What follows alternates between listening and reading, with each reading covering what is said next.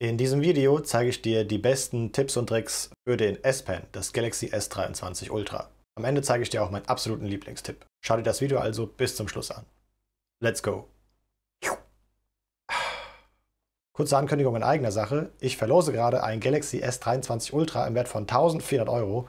Wenn du beim Gewinnspiel noch mitmachen willst, schau mal in der Beschreibung. Starten wir mit dem ersten Tipp und zwar kannst du mit dem S-Pen dein Galaxy Smartphone auch einfach entsperren.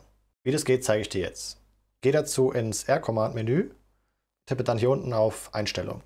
Jetzt scrollst du runter zu weitere S-Pen-Einstellungen. Und hier oben siehst du schon Entsperren mit S-Pen. Das aktivierst du. Jetzt musst du einmal deinen PIN eingeben. Und jetzt musst du dein Handy erst einmal sperren und dann entsperren mit deinem Fingerabdruck oder deinem PIN.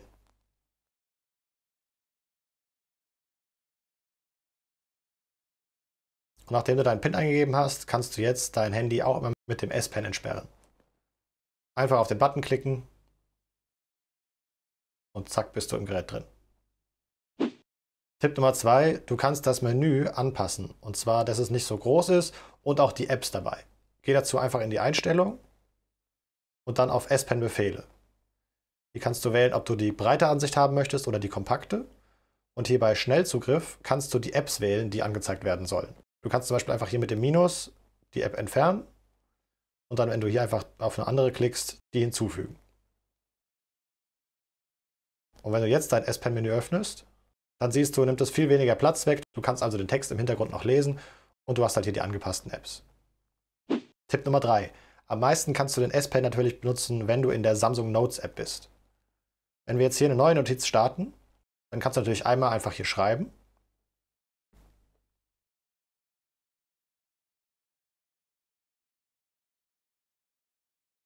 Was aber viel interessanter ist, du kannst die Handschrift auch zu Text umwandeln lassen. Scrolle einfach hier unten weiter, bis du dieses Symbol siehst. Da klickst du dann drauf und jetzt kannst du hier einfach reinschreiben. Und deine Schrift wird automatisch in Text umgewandelt und das funktioniert sogar richtig gut.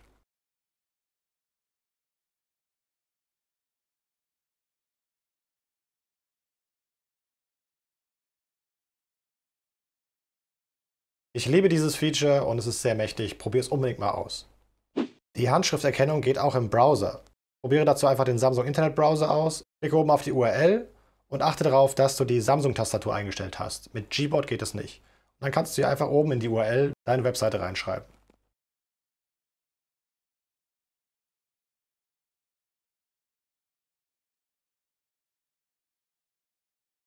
Mit ein bisschen Übung klappt das auch ganz gut. Aber gehen wir nochmal zurück zum Zeichnen. Wenn du zum Beispiel Symbole malen willst, dann sehen die wahrscheinlich nicht so gerade aus. Aber es gibt eine Autokorrektur, die diese Symbole in richtig schöne Form umwandelt. Scrolle dazu einfach hier unten nach rechts, bis du hier zu diesem Symbol kommst. Und wenn ich jetzt ein Quadrat mal, wird das automatisch korrigiert.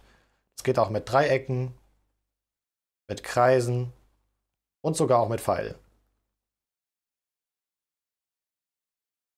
Das ist auch eine sehr mächtige Funktion und die solltest du unbedingt mal ausprobieren. Kommen wir zum nächsten Tipp. Im Samsung Kalender kannst du mit dem S-Pen auch einzelne Notizen hinzufügen. Öffne dazu die Kalender-App, dann zieh das Bild erstmal nach unten und jetzt siehst du hier oben dieses Stiftsymbol. Da klickst du drauf und jetzt kannst du hier sogar deine eigenen Zeichnungen hinzufügen. Also hier zum Beispiel sowas oder sowas oder schreiben. Du kannst also Handschrift oder Form oder sonstige Zeichnungen zu deinem Kalender hinzufügen. Oh, weiter geht's mit den R-Commands. Wenn du zum Beispiel in der Galerie bist, reicht es, wenn du deinen Stift einfach nur über ein Foto hältst, dann wird es automatisch vergrößert.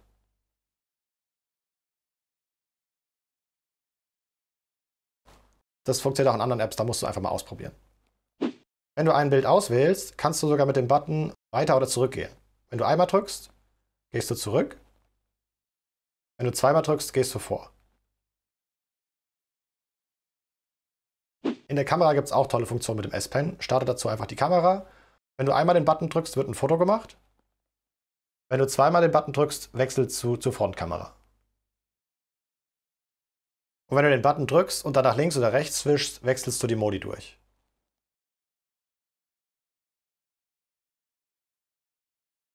So kannst du also auch ganz entspannt aus der Ferne Fotos von dir aufnehmen. Falls du noch mehr Tipps und Tricks für dein Galaxy Smartphone haben willst, dann kann ich dir meinen Samsung Galaxy Einsteigerkurs empfehlen. Ich habe 60 Videos aufgenommen, in denen ich dir alles über dein Galaxy Smartphone beibringe.